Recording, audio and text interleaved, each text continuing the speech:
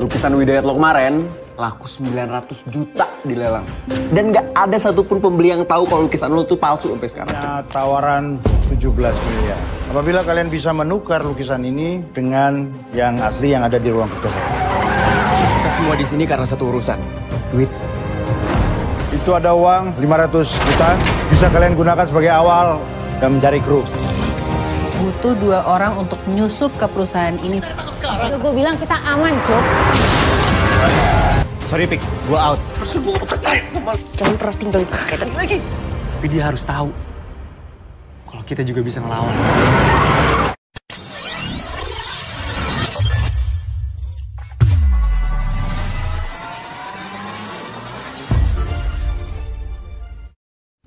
Film dibuka dengan menampilkan seorang mahasiswa seni rupa yang bernama Piko yang sangat piawai dalam melukis. Piko mencari penghasilan tambahan dengan memalsukan karya pelukis ternama. Lukisan palsunya itu dia jual melalui perantara sahabatnya yang bernama Yusuf Hamdan atau biasa dipanggil dengan nama Ucup. Ucup adalah seorang mahasiswa yang juga hacker, dia ahli dalam bermain kripto dan juga bisnis jual beli barang palsu branded. Ucup membantu menjual lukisan palsu yang dibuat Piko kepada seorang kurator yang bernama Dini. Dini menjual lukisan palsu itu dalam lelang lukisan dengan harga yang sangat tinggi. Piko memiliki kekasih yang bernama Sarah. Dia adalah seorang mahasiswa sekaligus atlet pencaksilat yang berniat masuk PON agar dapat terus mendapatkan beasiswa. Sarah hidup bersama omanya dan Sarah menjadi tulang punggung bagi keluarganya. Oma Sarah meragukan masa depan hubungan Sarah dengan Piko yang hanya menjadi seorang pelukis. Apalagi Sarah dan omanya berjuang keras untuk bertahan hidup. Mereka hanya memiliki waktu satu tahun tinggal di rumah dinas itu. Kita hanya boleh tinggal satu tahun lagi di rumah dinas ini. Namun Sarah meyakinkan omanya bahwa Sarah akan memikirkan solusinya. Hubungan persahabatan Piko dan Ucup yang begitu dekat kadang membuat Sarah cemburu kepada mereka berdua. Apalagi banyak hal yang tidak diketahui Sarah. Kenapa sih selalu ada ucup di hal-hal yang nggak kamu kasih tahu ke aku? Piko memiliki ayah yang bernama Budiman yang saat ini mendekam di penjara di kota Bandung karena terlibat kasus pembobolan bank dan dia dijebak oleh temannya. Piko hampir setiap minggu menjenguk ayahnya di penjara. Ucup menanyakan kepada Piko kabar ayahnya di penjara. Bokap di Bandung gimana? Piko menceritakan ada pengacara yang akan membantu membuka kasusnya kembali di tingkat kasasi. Namun pengacara itu meminta bayaran 2 miliar. Lawyer teman papa, tapi mereka minta 2 miliar. Ucap mengatakan lukisan Widayat palsu yang dibuat Piko sebelumnya yang dijual kepada Dini seharga 50 juta rupiah, namun di pelelangan laku 900 juta rupiah. Dini mengambil untung besar sekali, dan tidak ada satupun pembeli tahu bahwa lukisannya itu palsu sampai sekarang. Lukisan Widayat lo kemarin laku 900 juta di lelang. Ucup punya ide ingin menegosiasi ulang proyek pembuatan lukisan palsu selanjutnya. Dia akan meminta harga yang lebih fair kepada Dini. Cukup dengan tiga lukisan, mereka bisa mendapatkan uang 2 miliar, sehingga dapat membantu Piko membuka kembali kasus ayahnya. Sementara seorang polisi wanita melaporkan kepada atasannya bahwa ada laporan kedua dugaan pemalsuan lukisan, yang sebelumnya lukisan Avandi dan laporan yang kedua adalah lukisan Widayat. Namun untuk meneliti keaslian lukisan tersebut, Galeri Nasional perlu mengundang peneliti dari Belgia untuk memastikan keaslian lukisan. Namun mereka tidak memiliki anggaran. Menurut sang atasan polisi, kondisi ini tidak bisa dijadikan kasus karena bukan kapasitas polisi untuk menyelidiki lukisan palsu. Selanjutnya kita diperkenalkan dengan pemuda yang bernama Gofar dan adiknya Tuk-Tuk yang tinggal bersama ayahnya. Mereka menyewa tempat kepada Piko untuk dijadikan bengkel mobil. Gofar adalah seorang mekanik di bengkel, sementara adiknya Tuk-Tuk mahir mengendari mobil dan suka balapan mobil liar. Di malam itu tanpa sepengetahuan ayahnya, mereka berdua mengikuti balap mobil liar.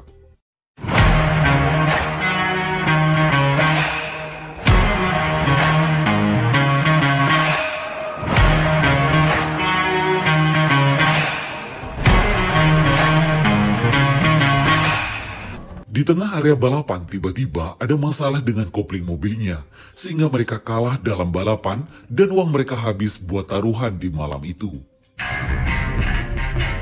Piko bersama Ucup bertemu dengan Dini membahas proyek baru membuat lukisan palsu. Di awal pertemuan, Ucup menegaskan kepada Dini bahwa mereka tidak sekedar butuh uang, namun meminta pembagian yang adil. Dini meminta Piko membuat lukisan palsu sang maestro Raden Saleh, yaitu lukisan penangkapan pangeran di Penogoro. Mendengar permintaan Dini, Piko tidak mau karena dia takut dipenjara. Karena itu bukan pemalsuan, namun membuat replika yang harus dibuat semirip dan sedetail mungkin. Ucup memberi penawaran harga 2 miliar kepada Dini untuk pembuatan lukisan itu. Dini sepakat dengan harga tersebut dan dia mau lukisan itu dapat diselesaikan dalam waktu satu bulan.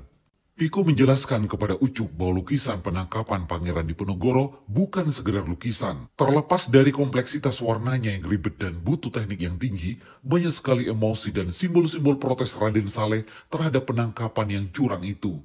Kelihatan di Penogoro dibuat sangat gagah dan gesturnya seakan mau menantangin orang-orang yang akan menangkapnya. Lukisan ini sebagai simbol perlawanan. Ucup dengan keahliannya sebagai hacker berhasil membobol server dan membantu Biku mendapatkan data-data restorasi terakhir tentang lukisan Pangeran Diponegoro di Jerman tahun 2012. Piko ditemani Ucup memulai mengerjakan proyek lukisan Raden Saleh tentang penangkapan Pangeran Diponegoro.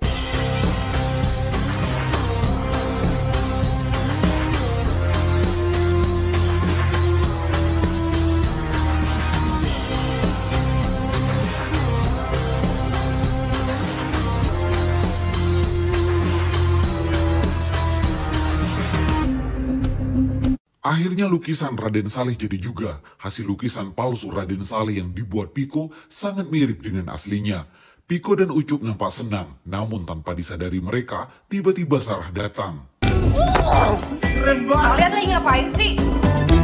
Sarah marah kepada Piko yang lebih mementingkan Ucup dibanding dirinya. Namun Piko menjelaskan bahwa dia membutuhkan 2 miliar untuk membantu membuka kasus ayahnya di Mahkamah Agung. Ucup membantunya dengan memberikan kerjaan Piko memalsukan lukisan Raden Saleh.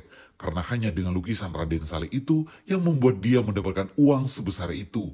Aku butuh 2 miliar. Kalau aku mau bantuin kasusnya Papa ke Mahkamah Agung. Piko selama ini tidak terbuka kepada Sarah karena tidak ingin menambah masalah buat Sarah, agar Sarah fokus untuk mengikuti PON dan tetap mendapatkan beasiswa. Mendengar pengakuan Piko, Sarah akhirnya minta maaf kepada Piko atas kesalahpahaman itu. Mereka bertiga akhirnya berangkat menemui Dini untuk transaksi menyerahkan lukisan itu. Di tempat janjian, Dini datang dengan membawa rombongan. Setelah mereka bertemu, Piko menunjukkan lukisan palsu yang sudah dibuatnya kepada Dini. Dini puas dengan hasil lukisan itu, namun tiba-tiba ada seorang laki-laki parubaya keluar dari dalam mobil. Mereka bertiga kaget ternyata orang itu adalah Permadi, seorang mantan presiden. Ternyata selama ini Dini bekerja pada Permadi. Permadi kagum dengan hasil karya lukisan palsu Piko yang sama persis dengan lukisan yang dipajang di ruang kerjanya dulu di Istana Negara. Namun Permadi memberi tawaran yang lebih menarik, dia akan tambahkan menjadi 17 miliar apabila mereka berhasil menukar lukisan itu dengan lukisan yang asli yang ada di ruang kerjanya di Istana Negara. Piko menolaknya, dia tidak mau mencuri. Dia hanya mau 2 miliar. Namun Permadi mengacam Piko dengan menunjukkan video ayah Piko Budiman yang tengah di penjara. Dia bisa membuat ayah Piko tersiksa lebih lama, bahkan mati di penjara. Permadi mengatakan Piko tidak punya pilihan. Tiga minggu dari saat itu, ada pameran tahunan koleksi Istana Kepresidenan yang akan dilaksanakan di Galeri Nasional. Mereka punya peluang untuk menukar lukisan pada saat dipindahkan. Permadi memberikan uang 500 juta kepada Piko digunakan sebagai awal untuk bekerja dan mencari kru. Itu ada uang 500 juta, bisa kalian gunakan sebagai awal dan mencari kru. Dalam kondisi terjebak demi keselamatan ayah Piko bersama mereka bertiga, mereka tidak punya pilihan. Mau tidak mau, mereka harus menyetujui dan melaksanakan rencana Permadi. Mereka berdiskusi apabila berhasil, uangnya bisa buat mereka juga. Kemudian mereka breakdown planning yang sudah dikasih Dini dan Permadi. Permadi hanya memberikan data profil perusahaan logistik saja, sedangkan mereka membutuhkan data perusahaan logistik yang biasa dipakai istana selama ini. Ucup dengan keahliannya sebagai hacker, dia mencari tahu segala data dan menelusuri semua rencana Permadi. Ucup mengatakan perusahaan logistik yang dipakai istana selama ini menggunakan rute yang sama selama 12 tahun terakhir. Dia butuh tahu kondisi lalu lintas pada jam pengiriman dan cari titik teraman buat penukaran. Untuk itu, mereka membutuhkan driver dan mekanik yang handal yang dapat membantu keberhasilan rencana mereka. Sementara Gofar dan Tuk-Tuk dimarahi ayahnya karena mesin mobil BMW milik ayahnya rusak akibat digunakan balapan oleh mereka berdua. Mereka berdua harus mengganti mesin mobil yang rusak, namun Gofar dan Tuk-Tuk tidak memiliki uang untuk memperbaikinya. Kalau kita kembat terus kayak gini, mampus kita dibunuh bapak, Far. Kondisi itu dimanfaatkan oleh Piko dengan mengajak keduanya dalam rencana mencuri lukisan Raden Saleh. Karena mereka membutuhkan uang, Gofar dan Tuk-Tuk akhirnya setuju bergabung dalam tim untuk merencanakan pencurian lukisan itu. Butuh duit. Ikut gua. Piko menjelaskan apabila proyek ini berhasil, masing-masing anggota kru akan kebagian uang sebesar 3 miliar. Gofar dan Tuk-Tuk senang sekali mendengarnya. Uang itu bisa mereka gunakan untuk membangun bengkel. Malam itu mereka memulai aksinya. Mereka berlima masuk menyusup ke perusahaan logistik itu untuk mencari data-data perusahaan termasuk data-data karyawan.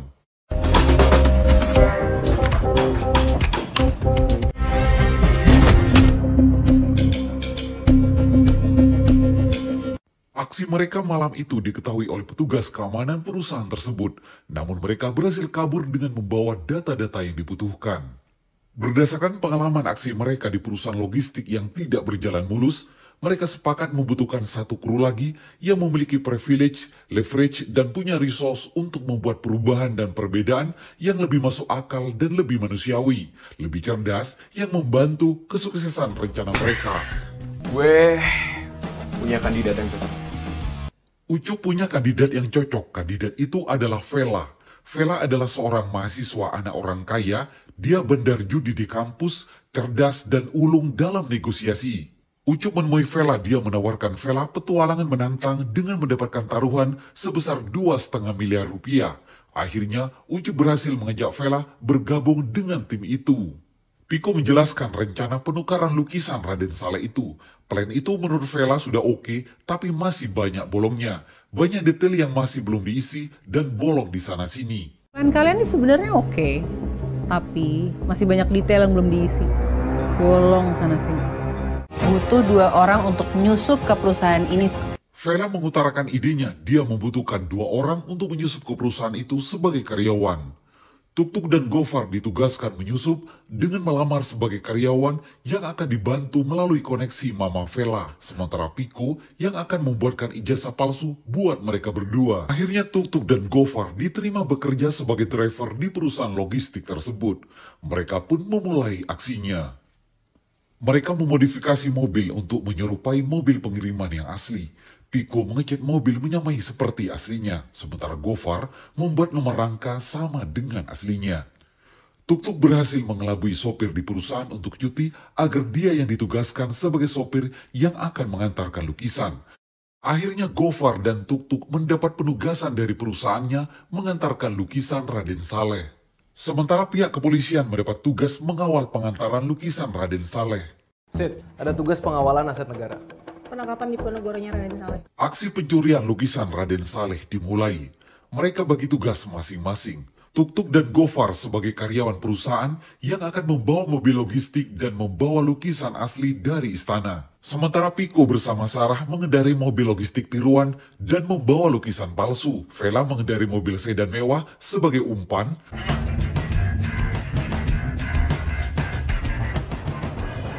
Sementara Ucup yang mengontrol pergerakan CCTV sekaligus memimpin misi ini. Aksi diawali Vera berpura-pura mobilnya mogok yang menimbulkan mogok panjang di terowongan. Polisi mulai curiga ada dua mobil box logistik dengan warna yang sama.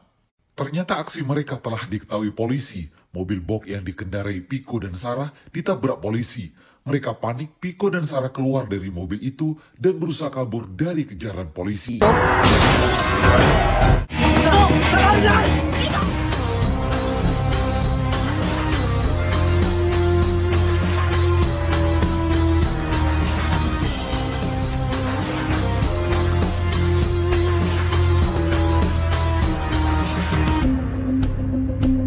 Sementara Ucup lari menuju Vela dan mereka berdua juga kabur mengamankan diri.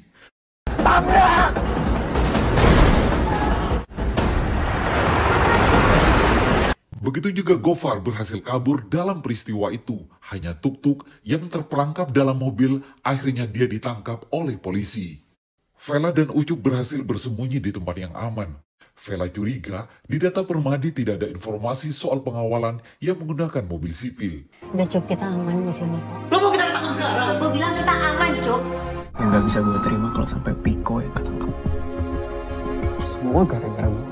Sementara di tempat lain, Sarah marah kepada Piko karena merasa ditinggal dalam peristiwa tadi. Jangan pernah tinggal kayak tadi lagi. Aku gak pernah ninggalin kamu. Sementara Gofar marah kepada Piko yang telah mengajaknya dalam misi ini sehingga membuat Tuk-Tuk ditangkap polisi. Di kantor polisi, Tuk-Tuk diinterogasi namun tidak menjawab pertanyaan yang diajukan polisi. Sementara identitas Ucup sudah diketahui polisi. Polisi yakin pencurian ini tidak dilakukan sembarangan orang, bukan sekedar mencuri, tapi bahkan menukar lukisan. Pihak kepolisian mendapat informasi Galeri Nasional menanyakan soal lukisan Raden Saleh. Penyelidikan minta dipercepat agar pembukaan pameran tidak tertunda sesuai arahan langsung dari istana. Polisi bingung membedakan antara lukisan Raden Saleh yang asli dan palsu, apalagi lukisan itu berasal dari kedua truk yang identik sampai nomor mesinnya. Pihak Galeri Nasional menyarankan untuk melibatkan kurator istana. Akhirnya, polisi mengirim surat kepada istana agar mengecek sendiri lukisan itu. Keesokan harinya, Dini sebagai kurator istana datang memeriksa keaslian lukisan. Setelah Dini memeriksa, lukisan Raden Saleh yang asli dia kasih label dan bisa dibawa ke Galeri Nasional. Dan lukisan yang palsu dibawa Dini dengan alasan ada prosedur khusus untuk melenyapkan lukisan palsu apalagi masuk kategori aset negara. Piko dengan wajah sedih kembali menjenguk ayahnya di penjara. Namun dia diam saja dan tidak mau bercerita. Akhirnya berpesan, hadapi saja yang biasa Piko lakukan dan jangan percaya sama orang lain. Hadepin. Piko datang ke pameran lukisan koleksi Istana Negara di Galeri Nasional. Dia melihat lukisan Raden Saleh itu. Dia terkejut ternyata lukisan yang dipajang merupakan lukisan Raden Saleh palsu yang dibuat oleh Piko. Sementara lukisan Raden Saleh asli dibawa oleh Dini ke rumah Permadi. Ternyata Dini demi keuntungan materi telah berkomplot dengan Permadi. Buat Permadi, ini bukan soal lukisan. Negara sudah merenggut karir politik dia dan Rama anaknya ini merupakan hari pembalasannya. Akhirnya Piko, Ucup, Vela, dan Gofar berkumpul kembali. Piko mengatakan lukisan yang dipamerkan di Galeri Nasional bukan lukisan Raden Saleh asli. Itu lukisan yang dibuat oleh Piko. Ternyata mereka selama ini menjadi umpan Permadi. Mereka kembali bersih tegang apalagi Tuk-Tuk masih di penjara. Gofar sangat khawatir dengan keselamatan adiknya yang ditangkap polisi. Karena dia yang sudah bareng sejak kecil. Dari gue kecil, gue selalu bareng sama dia. Sekarang dia sendiri, gue takut dia dia apa-apain tau gak? Di sisi lain, Permadi datang ke penjara Budiman. Dia memuji rencana Budiman yang begitu sempurna. Bayaran untuk Budiman sebesar 2 miliar rupiah sudah ditransfer ke Poltak sebagai pengacara dan dia minta kepada Poltak untuk membuka lagi kasusnya. Namun Permadi tidak menepati janjinya untuk mengusahakan hakim di Mahkamah Agung. Karena tanpa intervensi dari hakim, dia tidak akan memenangkan kasasi. Budiman kesal kepada Permadi karena ingkar janji. Dia bisa membuka mulut terkait dengan lukisan Raden Saleh itu kalau dia mau. Permadi mengancam apabila Budiman membuka mulut, Piko juga bisa dijebloskan ke dalam penjara. Sementara Piko bersama kawan-kawannya masih membahas rencana dan strategi untuk membebaskan Tuk-Tuk. Namun di tengah pembicaraan mereka, Tuk-Tuk datang. Ternyata Tuk-Tuk telah dibebaskan oleh polisi. Mereka semua marah kepada Permadi yang telah menjebaknya. Permadi melakukan itu semua karena dikira mereka dianggap bocah ingusan. Mereka bertekad akan melawan. Tapi dia harus tahu kalau kita juga bisa ngelawan. Sementara Budiman dibantu oleh sang pengacara, Poltak berhasil kabur dari penjara. Ucup berhasil mendapatkan titik kelemahan Permadi, yaitu Rama yang merupakan putra mahkota Permadi. Tahun lalu Permadi mundur sebagai presiden karena kasus suap yang melibatkan Rama terekspos media demi beritanya tidak tersebar, Permadi terpaksa mengorbankan jabatannya. Rama seorang playboy kelas kakap, Sarah diberi tugas untuk mendekati Rama. Dua minggu lagi Permadi ulang tahun dan dia selalu mengadakan party besar-besaran. Sarah berhasil mendekati Rama ketika di kafe dan dia berkenalan dengan Rama. Bahkan Rama mengajak Sarah dinner. Ucup yakin lukisannya tidak akan dipajang di tempat terbuka. Harus ada orang yang menyusup ke rumah Permadi sebelum hari H untuk bisa masuk ke sistem pengamanannya dan untuk menemukan lokasi lukisan itu disimpan. Mereka butuh akses ke I.O. acara atau vendor dekorasi Ucup dan Piko yang mendapat tugas ini. Sementara Vela menemui mamanya di kantor. Ada apa sih, Vel? Sampai harus ngomong di sini. Vela merencanakan ingin punya bisnis yang dia jalankan sambil kuliah. Bisnis itu adalah I.O. Akhirnya perusahaan I.O. yang menangani ulang tahun Permadi berhasil dibeli oleh Vela.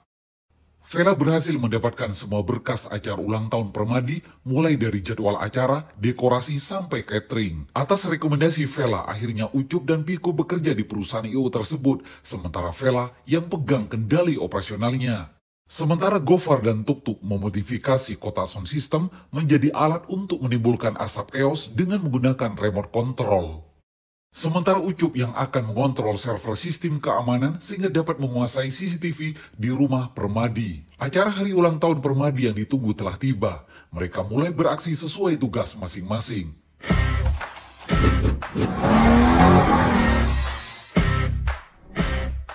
Sarah menggunakan gaun mewah berpura-pura menjadi pasangan Rama menjadi tamu spesial di pesta malam itu. Sementara Ucup yang bertugas sebagai karyawan IO berusaha mengontrol sistem keamanan CCTV rumah Permadi. Ucup dan Piko berusaha mencari lokasi lukisan Raden Saleh ditempatkan. Sementara Gofar dan Tuktuk bertugas di kota sound system menjadi alat untuk menimbulkan asap chaos dengan menggunakan remote control. Avela sebagai koordinator acara bertugas mengalihkan perhatian petugas keamanan dan memimpin misi malam itu. Setelah mereka tahu lokasi lukisan Raden Saleh berada di ruang pavilion, Ucup dan Piku menuju ke ruangan itu. Akhirnya, mereka menemukan lukisan Raden Saleh. Gofar memberi aba-aba 10 menit sebelum chaos, bom asap sudah di tempat dan siap difungsikan. 10 menit sebelum chaos. Gofar menekan remote control untuk menimbulkan bom asap, namun tiba-tiba remote control itu tidak berfungsi. Tiga, dua, let's go. Karena bom asap tidak berfungsi, tidak ada pilihan lain, akhirnya mereka menggunakan rencana kontingensi. Akhirnya, Sarah yang memegang kendali. Sarah mencari perhatian Rama untuk memancing keributan. Ketika Rama memegang pinggul Sarah, Sarah menyerang Rama. Akhirnya, Rama menyuruh anak buahnya menghabisi Sarah.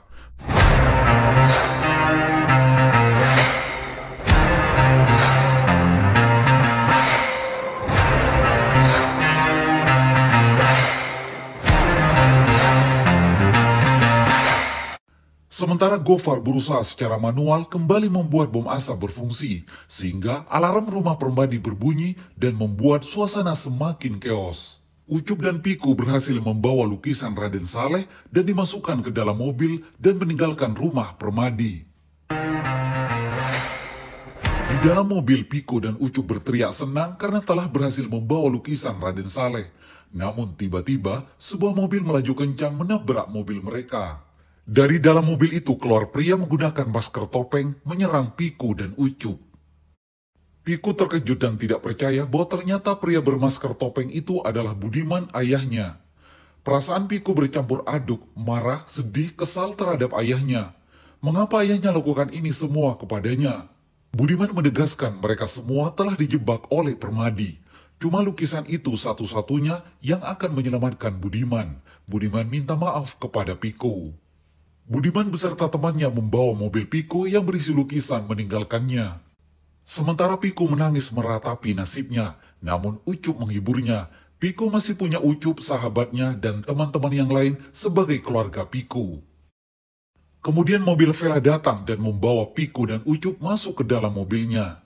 Dalam perjalanan Budiman melihat lukisannya, ternyata lukisan di mobilnya bukan lukisan Raden Saleh, melainkan lukisan Yasir Arafat. Ternyata Piko dan teman-temannya menjalankan dua rencana sekaligus. Lukisan Raden Saleh dibawa oleh mobil yang dikendari oleh Vela, sementara mobil yang dikendari Viko membawa lukisan Yasir Arafat. Sementara Permadi marah besar karena lukisan Raden Saleh telah dicuri dan dia memerintahkan anak buahnya untuk mencari pelakunya. Dini menelpon Ucup memuji kehebatan mereka. Dini di rumah Permadi melihat Ucup dan Piko membawa lukisan Raden Saleh. Dini mempunyai penawaran yang sangat menarik buat mereka. Ada calon pembeli yang mau menghargai 10 juta US dollar untuk lukisan itu. Mendengar penawaran Dini, mereka semua bersorak-sorai dan senang. Demikian alur cerita film Mencuri Raden Saleh. Jangan lupa untuk like, subscribe, dan aktifkan loncengnya. Terima kasih dan sampai jumpa.